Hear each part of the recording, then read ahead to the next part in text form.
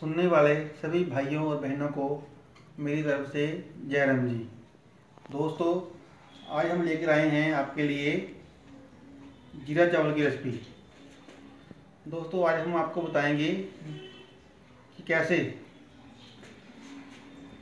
किसी सिंपल से चावल को भी आप हमारे मेथड से बासमती चावल के जितना स्वादिष्ट बना सकते हैं। तो दोस्तों, इस वीडियो को कृपया अंत तक देखिए, ताकि आपको पता चल जाए कि हमने क्या मेथड यूज़ किया है और किस मेथड से ये राइस बना रहे हैं। इसके लिए हमने क्या क्या सामग्री ली है, ये आपको बता दें। सबसे पहले हमने ये ये दो गिलास राइस लिए हैं। ये राइस हमने सिंपल राइस लिए हैं, देख लीजिए।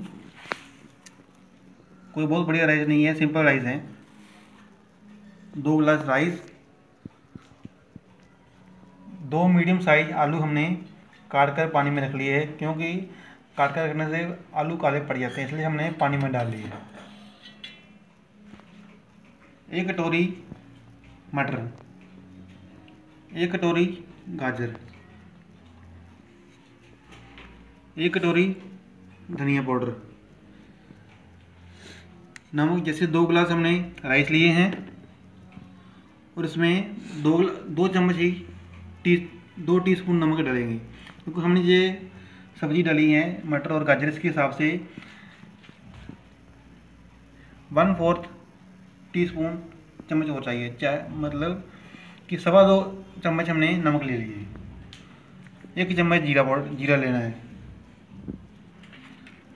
मिर्च हमने आधा चम्मच लेनी है, बाकी आप अपने टेस्ट के अनुसार ले सकते हैं। एक चम्मच अजवाइन। दो मीडियम साइज़ प्याज। पाँच से छः पत्ते, कड़ी पत्ता।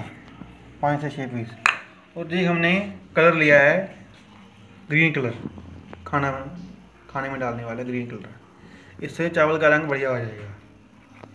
तो दोस्तों, हमें क्या करना है? सबसे पहले हमें इन चावलों को अच्छी तरह धोना है।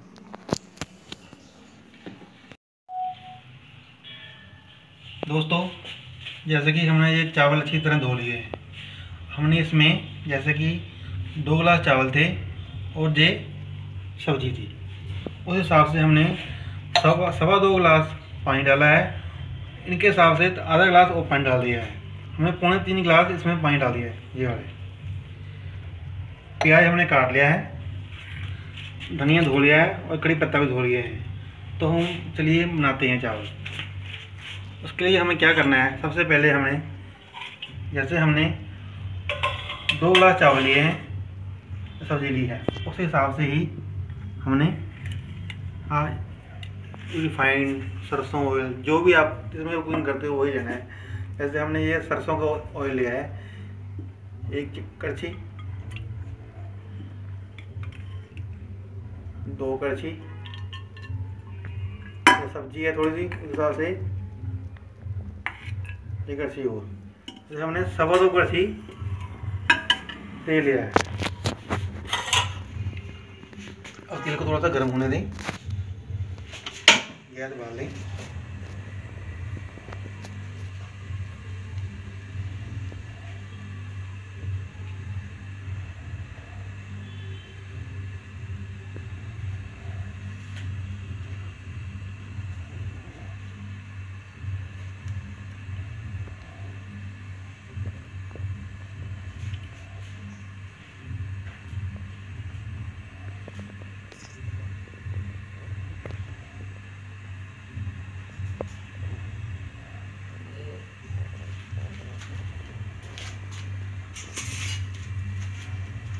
अब जो हमारा तेल गर्म हो रहा है। इसमें हम डालते हैं एक चम्मच जीरा।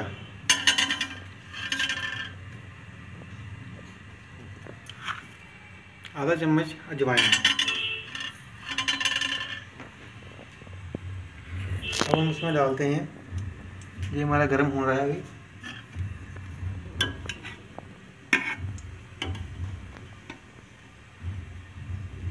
और इसमें डालते हैं दो मीडियम साइज़ प्याज।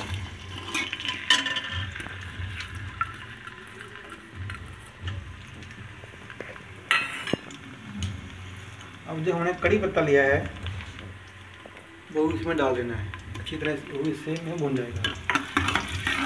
तो इसको हम अच्छी तरह फ्राई कर लेते हैं।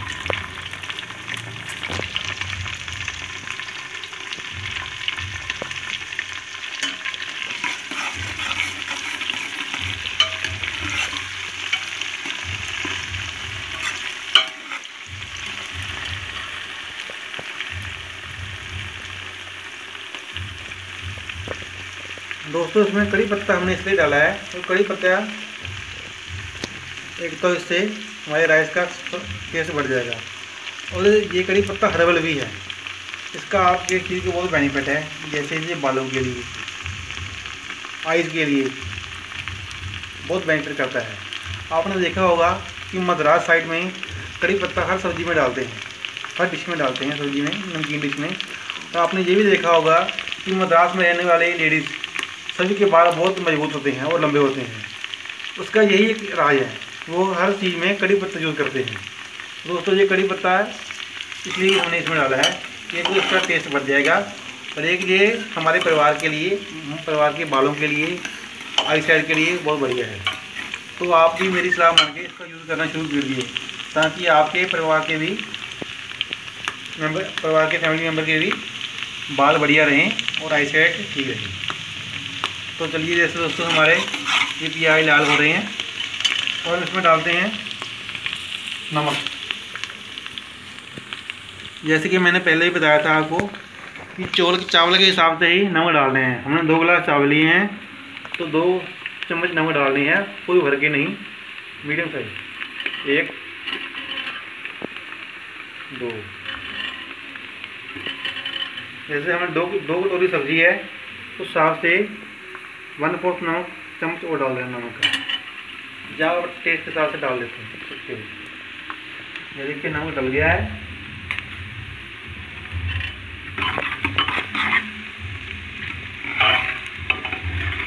ये हमारा प्याज ब्राउन होने वाला है।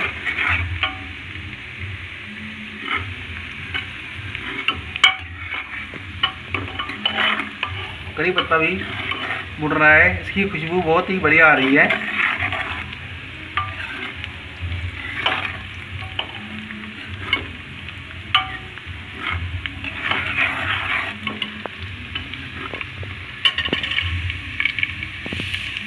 आप देख सकते हैं कि हमारे जो प्याज है और जो गर्म मसाला है, वो अब भुन चुका है। तो हमें क्या करना है इसमें? रेड मिर्च पाउडर डालना है, लाल मिर्च पाउडर डालना है। वो भी आप अपने टेस्ट के हिसाब से डाल सकते हो। जैसे हमने तो केवल आधा चम्मच ही डालना है। क्योंकि बच्चे हैं, सभी बच्चों ने खाना होता है, इसलिए हम ज़्यादा तीखा नहीं रखते। अगर आप तीखा पसंद करते हो तो और भी डाल सकते हो।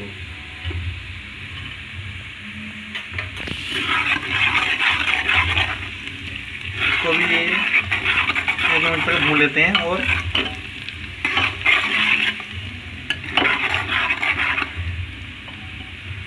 अब हम इसमें अपनी कटी हुई सब्ज़ी डाल सकते हैं। फिर हमने गाजर डाल दी।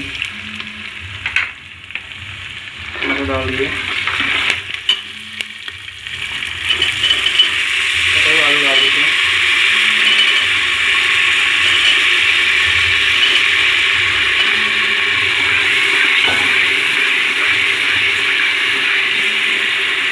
और फिर हमने राइस में राइस में पानी डाला होता है, वो भी डाल देते हैं।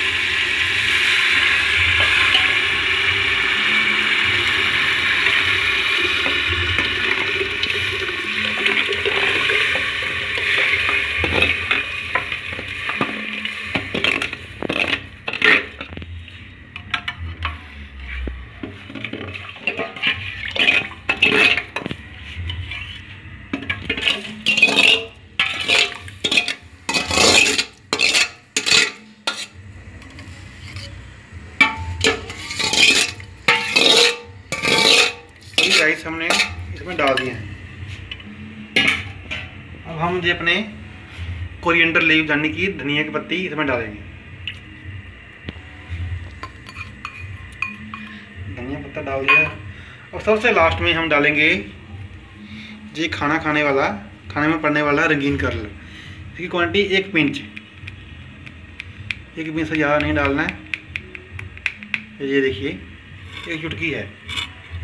वो डाल देना और अब इसको अच्छी तरह से मिक्स कर लेना है।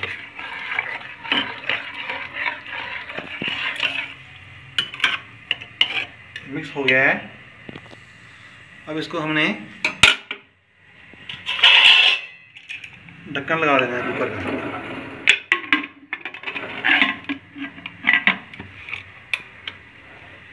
अब हमने इसकी एक विसल बजानी है। उसके बाद हम देखें क्या होता है।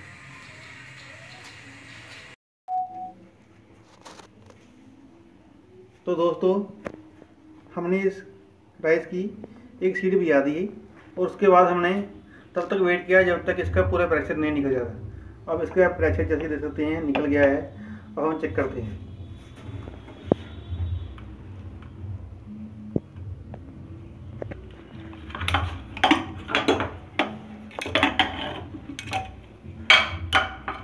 अब इसको लगाते हैं, देखो।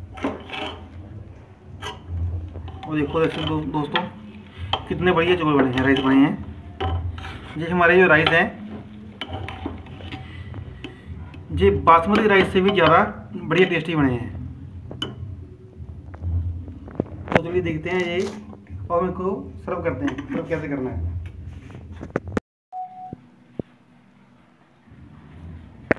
दोस्तों ये हमारे राइस अब बिल्कुल तैयार हैं। देखो जैसे देखने में कितने डिशेज लग रहे हैं। उनका टेस्ट भी बहुत बढ़िया है। दोस्तों जैसे मैंने कि आपको वीडियो के स्टार्ट में बताया था कि कैसे आप सिंपल से राइस को भी बासमती राइस से बढ़िया टेस्टी बना सकते हो। उसके लिए क्या ट्रिक है?